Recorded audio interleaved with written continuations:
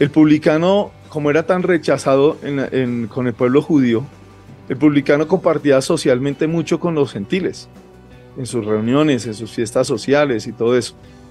Y, esto me lleva también a pensar en algo. Cuando el Señor Jesús, que es un texto que citó hace unos minutos Uriel, el Señor Jesús dice, de cierto, de cierto os digo que los publicanos y las rameras van delante de vosotros al reino de Dios. Y cuando vemos la actitud de esa oración tan tremenda, muy corta pero muy poderosa, sé propicio a mi pecador que fue un publicano el que la hizo. ¿Qué me indica a mí, basado en lo que estoy escuchándoles a todos hoy y en estos textos? Es que el publicano muy posiblemente tenía una carga emocional, mental, espiritual tremenda.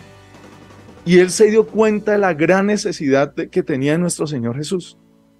Y por eso yo pienso que realizó esta oración y por eso también creo que mi Señor presenta esa parábola entre la comparación del fariseo y el publicano, dos contrastes muy tremendos, de personas con una actitud muy diferente, pero que los dos siendo pecadores, siendo infieles, pues solo uno realmente reconoce el pecado.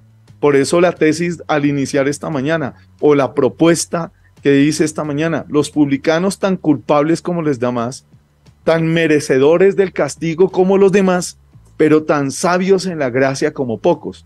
Y termino pues enfatizando en algo, y es, cuando yo leo la parábola del capítulo 21, versículo 28 en adelante, que dice que un hombre tenía dos hijos, y a uno le dijo, ve y trabajas, eh, y, dijo, no quiero ir, pero después arrepentido va, y el otro que se dijo, voy y no fue, pues nos, nos eh, ilustra muy bien la actitud correcta que el Señor espera que la persona tenga. El publicano tenía una actitud correcta frente a la, a la confrontación con las verdades del Señor Jesús.